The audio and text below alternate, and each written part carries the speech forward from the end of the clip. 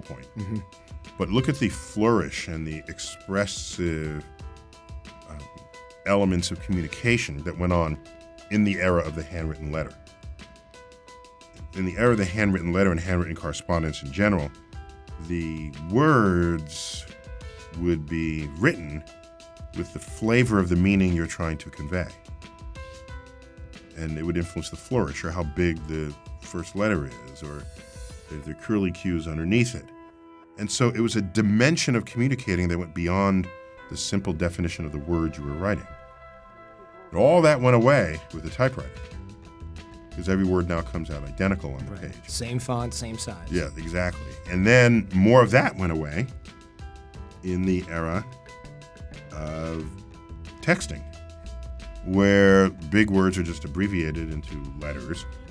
Um, you know, see you tomorrow is the letter C, the numeral two. Evidence that pure texting is completely inadequate to communicate is the flux of emojis that have come down right. So instead of writing how you feel, you just put a picture of how you feel. Well, that's that is like the supreme height of illiteracy, where you just put pictures of. Is, Hieroglyphics again. is it is it Pictionary? I mean, like what is this? Right, it's hier- back to hieroglyphics again.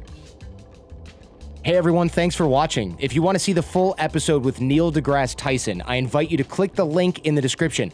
For more awesome interviews with incredibly fascinating people or inside knowledge from the best in influence, persuasion, negotiation, and nonverbal communication, please hit that subscribe button.